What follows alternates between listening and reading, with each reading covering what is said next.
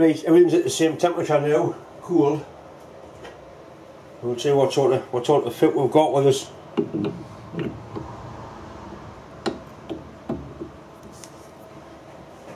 That's the sort of fit I wanted.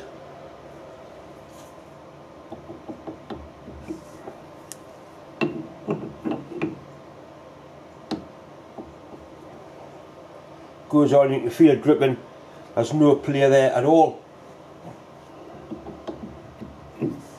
The next thing will be to mark out the hole centres and drill the hole centres in there. There's a few ways of doing it. Uh, one way is to make it, make some transfer punches to go in there. I haven't currently, I might, I might make some of them or I'll make a sleeve. Make a sleeve and join those two together and transfer punch through there.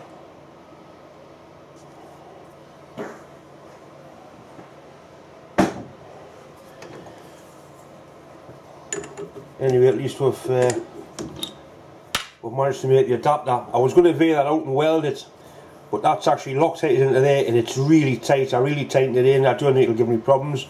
I mean you don't use a boring head in reverse anyway. So I think I'll just leave it as it is. I've decided to use me the dividing head I built a while ago do the indexing on the four bolt holes. That simply screws onto the cross slide like that. The three jaw chuck, four jaw chuck, a collet chuck fits onto there. We can line it up to the offset from the centre.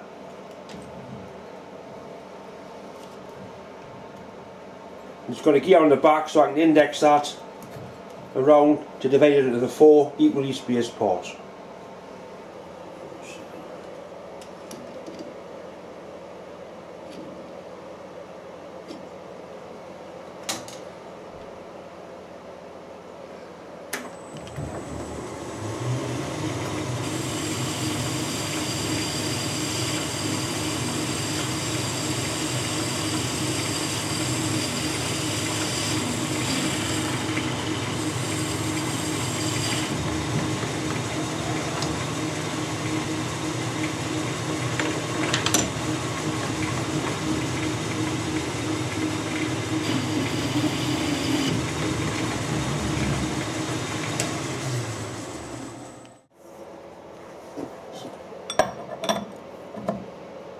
That's a good fit and they're a really good fit.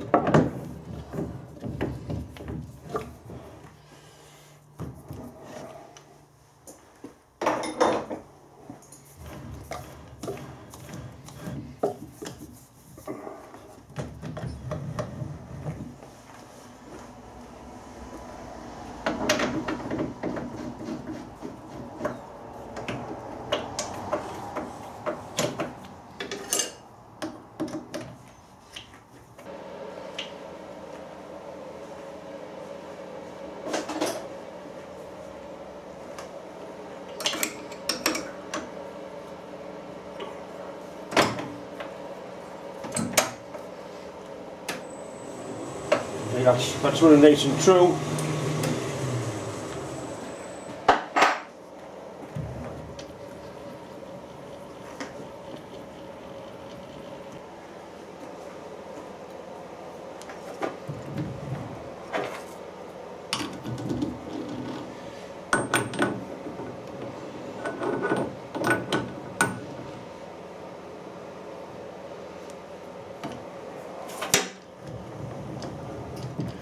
Right, so if I line that on your head where the camera is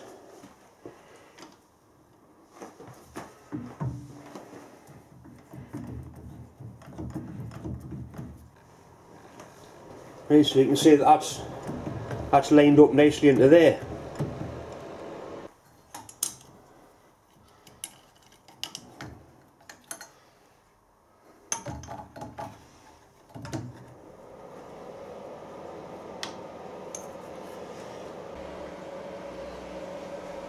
Got an 80 tooth gear here so every 20 teeth will be quarter of a turn and that's how I can divide me.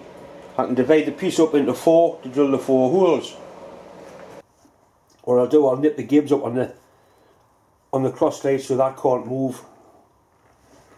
I've got it set up fairly tight anyway. Just takes a little nip and that'll, that'll lock it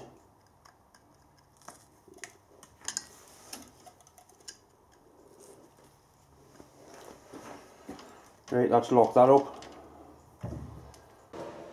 Right, so I can take the original one out. Put what one we've made in. I'll put a drill in here. And I can drill, drill a hole, turn it round 20 teeth, drill that hole, then I'm going to have me four holes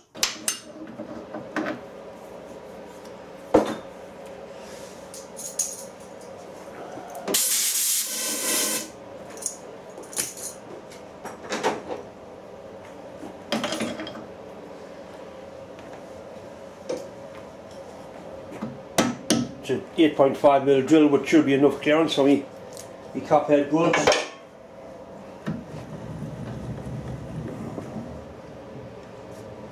So basically the distance we've set is the centre line of that to the centre line of the lathe.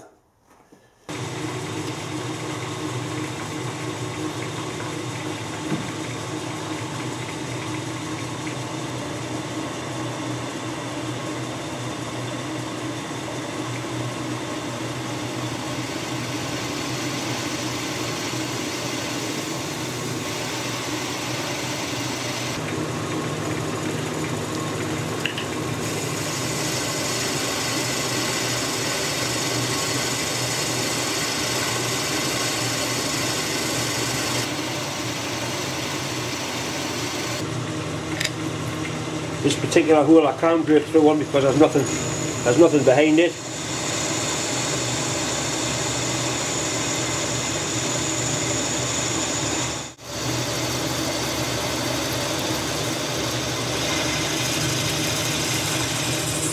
Right, that's it through.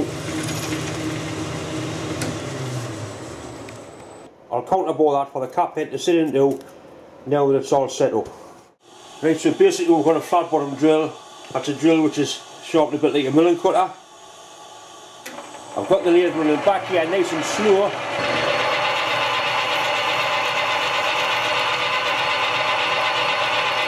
Two hundred.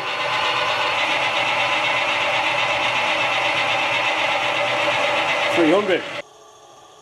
Hopefully you can see the end of the drill there. It's just been squared off with a very very small amount of lead on it. Very similar to a milling cutter. I've got a few of these, are all old imperial drills. They've been sharpened like this to make counterbores for all the metric cap head bolts I use. Right, so now we need to count round 20 teeth. 20, 40, 60, 80. So 20 teeth, which is going to be there. Then you're going to have 40, then 60. That will go over four divisions. What I'm going to do, I'm going to put a Tipp-Ex mark on that one so I can't lose where I started from. Right, we've got our Tipp-Ex.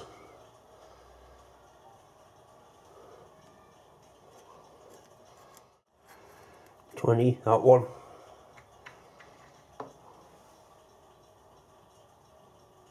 What I'll do, I'll mark all fault and kind of go, kind of go wrong, can we? Right, so I marked out, okay, well, I marked out every 20 teeth. What I could have done, I put, could have put a compound gear on here, a 40, not every half turn there would have been the right amount on there.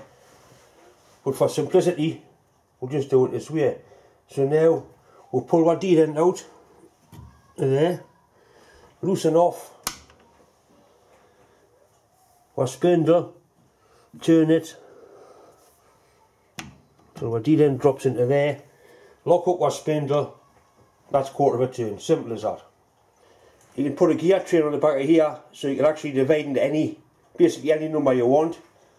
Not quite as accurate as a worm type dividing head, but when you consider it costs nothing at all to make, it's uh, it's quite a handy tool. Right, we'll put the drill back in. we can go right through with this one as well. It's going to miss the going to miss the chuck jaw.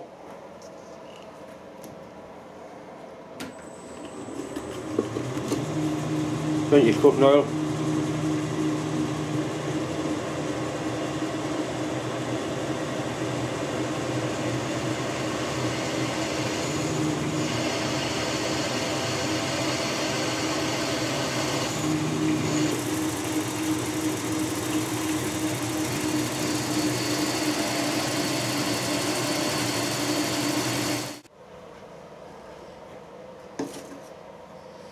Loosen wat spindle lock out to our dead end. And we're round to the next, the next one, which is, you bastard, which is there. Certainly looks good, let's take it out. Looks very good on the back. Just as he rock derog them holes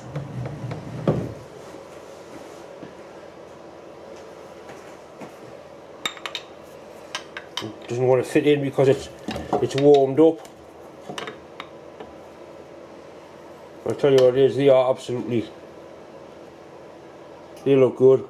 That won't go in now because it's warmed up with machining it. I'll derag them get some bolts and we'll try it in need to machine the, the heads of the Allen bolts down to fit the counter bore.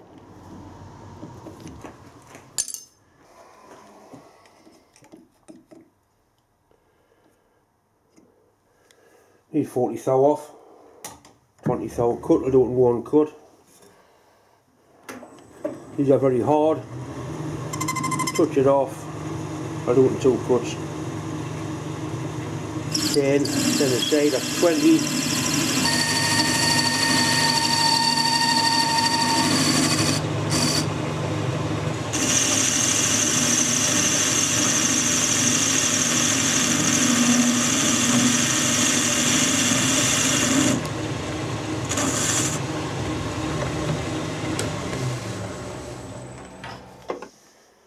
Right, the moment of truth.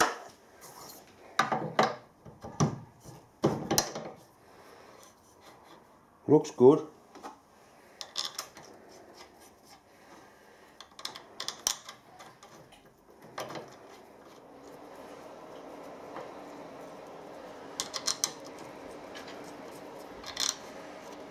I don't you think you get much better than that. The 8.5 mil holes, there's just enough clearance. What I'll do before I put it together, I'll just put some decent grease inside it, just on the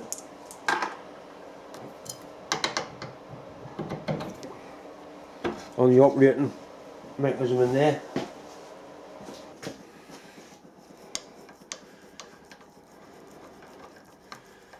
The wheel bearing grease won't do any harm, I'm sure. Make sure the faces are all nice and clean.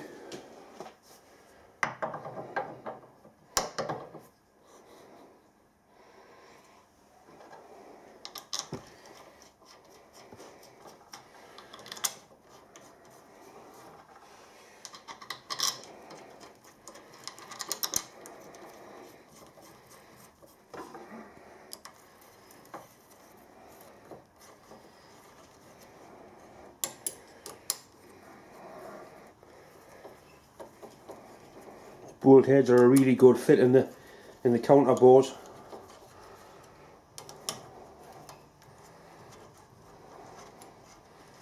There's very little movement on it there now, if any.